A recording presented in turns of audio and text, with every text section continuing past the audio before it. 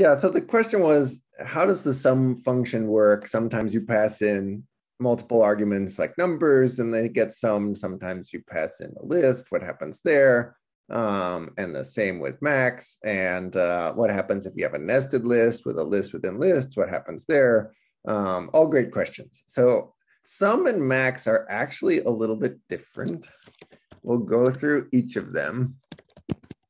Sum doesn't actually just add things together, whereas max does take the max of multiple arguments. So just focusing on sum, sum's job is really to take one argument, which has to be something that you can iterate through, an iterable full of stuff that can be added together.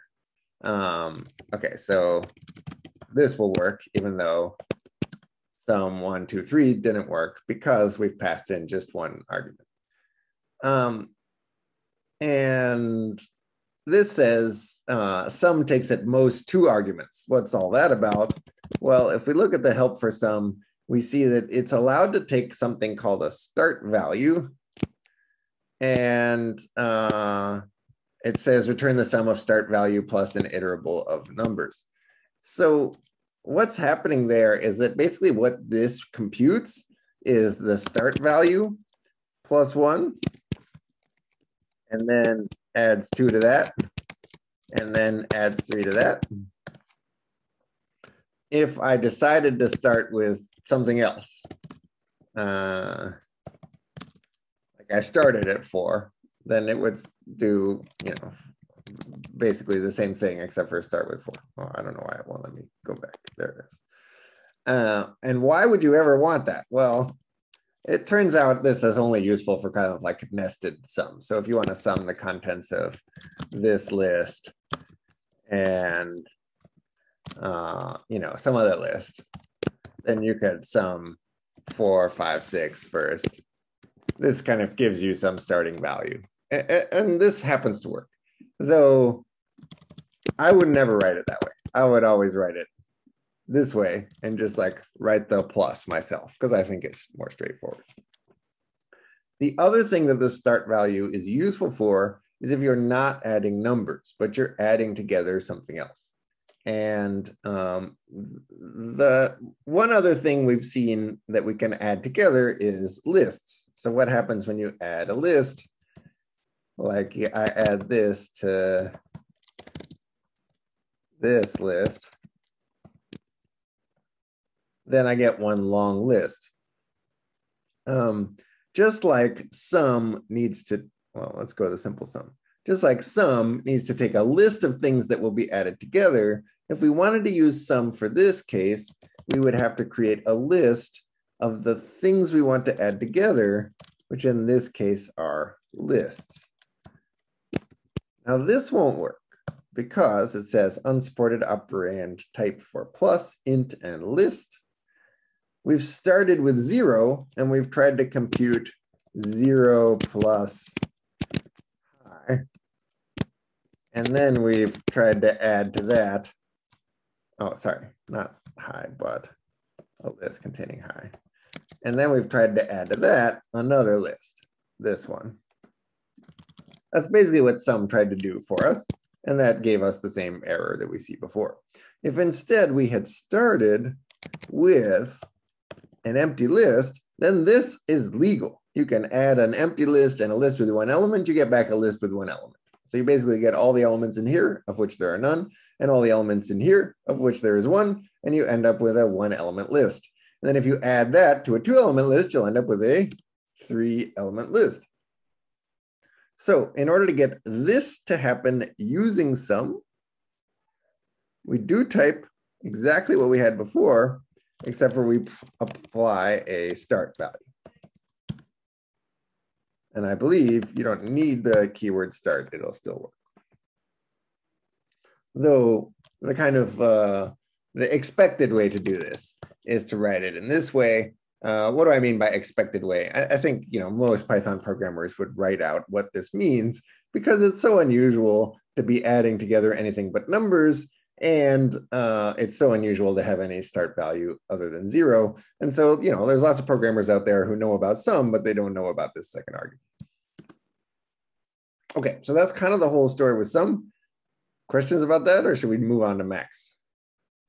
Excellent question. Okay, so then what happens if you have some nested list? Like uh, I have three and four in a list, and then I have another list with five in a list in it, and six, and seven and eight in another list. And we could make it more nested than that, but this is a good starting place. Okay, so what am I looking at? I have a two element thing. Here's the first element. Here's the second element. If I talk about what the elements are within each of the elements, the elements in here are the number three and the number four. The elements in here are a list containing five, the number six, and a list containing seven and eight. So there's three things in here, and we can verify that by saying, what's the len of T1?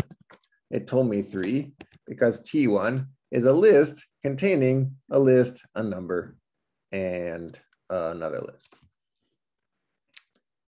Now, what happens when we take this element? So there's two things. We're going to add them together. We take this element and we add it together with this element. Well, we get back a list with these two elements followed by these three elements. Looks like three, four, list five, six, list seven, eight. Okay, U is going to be all this stuff plus something else. We're going to have a list containing a list containing nine. Now, unlike T, U has three elements. What are they? that, that, those are the same as, oh, sorry, I'm supposed to be looking at U, but actually it doesn't matter because U0 and U1 are the same as T0 and T1, but U has like this other element. What would it mean to add all the elements in U together? Well, that would mean adding this plus this plus this and I end up with the three, the four, the list of five, the six, the list of seven and eight, the list of nine, which are the elements of these three lists, these three elements. The same can be achieved with sum. Sum basically just takes all the elements and adds them together. There are three elements in U. If I add them together,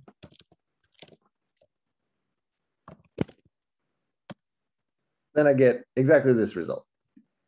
So you can always think of this as what sum is doing is it's just replacing the commas in the whole list with pluses. It doesn't really do anything in particular that's special with the elements of the list.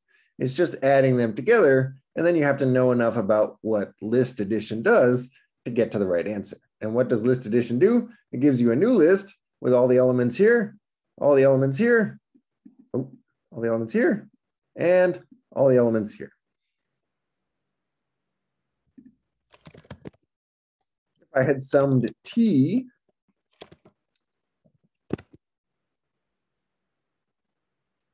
then I would have gotten uh, the same thing as this example, adding together the two elements of t. So this is the same as that. Okay, so to complete this example, let's say we've already run this. And so now I have a list that's a mixture of numbers and lists. This cannot be summed. So let's call V the result of sum T.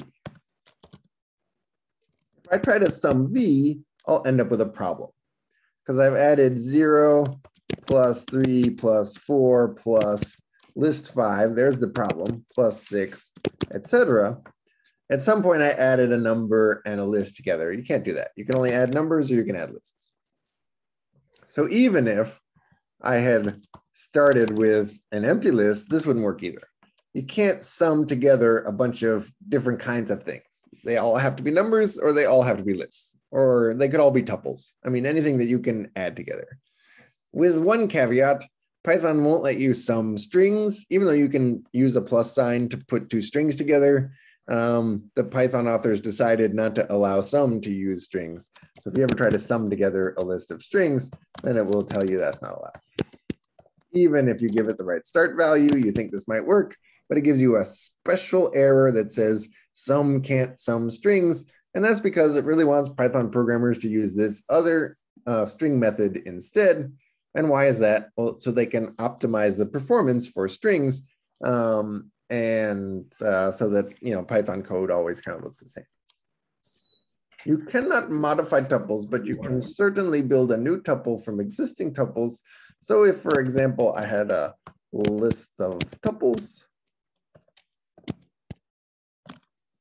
and you know I can put anything I want in these tuples. I could put hi and a list containing there. Oh, sorry. Okay, so here we're on W. W is a four element list. Well, sorry, three element list where the elements are all tuples. Can you add tuples together? The answer is yes. Very carefully, John. And what you get back is a tuple with all the elements of the component tuples.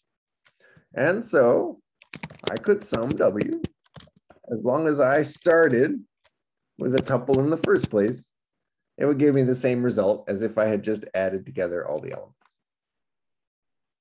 Great. Okay, so now we'll do max.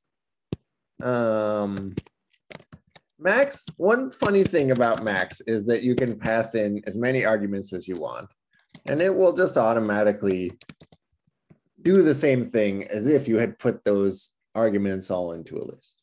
And why is this nice? This is nice because then you don't have to use square brackets in order to take the max of three and four, but um, max also works with an iterable. So like uh, we found that it worked in this case. What about the iterables we have, like uh, t? Can I take the max of that? The answer is no, because I can't figure out whether this thing is greater than this thing. And why not? Well, actually Python does start comparing elements of a list. So you can figure out whether 3 comma 4 is greater than 5 comma 6. It's not. And what does it do? It compares the first two elements. If they're the same, then it compares the second elements. This is kind of a detail you don't really need to know, but I'll tell you about it anyway. Um, so what happened here, the reason this broke is that it compared the three to the list containing five in order to try to figure out if this whole list was bigger than this list. It looked at the first element of each and found out that they're incompatible types. And so it gave up and gave us an error. Okay. But if you had all the same type of thing, like uh, A is three, four, five, six, all numbers. And this is something you can take the max of. And if B was, hi there, John.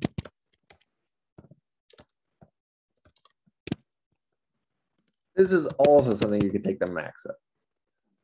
It just goes through and figures out if there's an element that's greater than or equal to all the other elements, then it gives you that as the return value.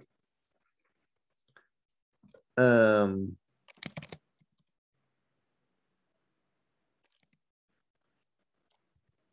okay. Pretty And nice. let's say there's another John in here. Then what happens? The max is still there. One quite powerful thing you can do with max is use something besides element comparison in order to decide what is meant by the maximal element. You can come up with a property of the element that stands in for its original value. And that's what the key function does. So I said that really fast. I'm just going to try to unpack it because people ask all the time and it just takes a while to understand it. When you call max on B, whether there's a key or not, you're going to get one of these four elements of B. That's the goal of max, is to give you one of these four things. If you don't pass in a key function, then it's going to just start comparing these with greater than. Oh, another isn't the max because it's not bigger than there. But there could be the max because it's bigger than another. And you know, it goes through and compares everything that it needs to compare. So it starts with hi versus there. There is bigger. So then it tries the bigger one of those against another. There is still bigger. It tries that against John. There is still the bigger. So it must be the biggest. That's basically what it's doing. Yeah, good question. So the question is, how do you get like which string is bigger than another string? Anyway, this is alphabetical order. And the alphabetization is achieved by assigning a number to every character. Uh, ah, that makes sense. So there's max because it's the last. All right. Yeah. yeah cool. So there is just later in the alphabet. If you want to know like what's going on under the hood, yeah, every character has some number associated with it, and T comes after H. But you know, they're just in alphabetical order. Like I comes next and J comes next. And how come there's such a big number? Well, actually, it's assigning numbers not only to lowercase, but uppercase letters. And the uppercase letters all come first. Um, and then what about other stuff? Well, it turns out like all the punctuation has a number associated with it, etc. Okay, so you don't need to know what all these numbers are. You just need to know that greater than for strings will give you alphabetical order. Okay. All right. But what if you didn't want the element of B that came last in the alphabet? What if you wanted the longest element of B? There's a long way to do it. Okay, so here's B. We want the longest element. One thing we could do is get the lengths of all of them. So we could build C is len x for x and b. Okay, we could try to get the max of that. Okay, what do we do with this? Well, we want to get the corresponding thing in B. You know, people can invent various ways of doing it. Like you could try to find the index of the max of C. That's the position at index two. And then you could try to get that element of B, and that would give you the longest thing. This pattern of you actually want to look at the length to figure out which one you want is so common that it's built into max. So instead of doing all this work, you just say, I want the maximal element of B, where what I care about is the length of each element. Notice I don't get the number seven. Since I called max on B, I still get an element of B. I just now get the one that had the longest length. And the key function can be a built-in function or a named function, or it could be a lambda. And any kind of function would work. Like let's say I really cared about the second letter. I really just want to know which one has the last, alphabetically, the last second letter. Well, then I would just write that. And which one, it would compare the I and the H and the N and the O and realize, oh, O is last in the alphabet among the second letters. And so it would give me John when there's a tie, it's just going to give you one of them. I think it reliably okay. gives you the first. Let's see. Uh, D is something with two seven letter words. Letters. Which one is the longest? So it picked the first one that was the longest. Even though there's two that are the longest, it's not really Max's job to tell you all of the longest things. It just tells you the thing, like arbitrarily picks one that's the longest. I think it reliably always picks the first one, but I'm not even sure of that. Maybe if we call help on Max, it will tell us. No, it doesn't tell you. So you just get one of the longest ones.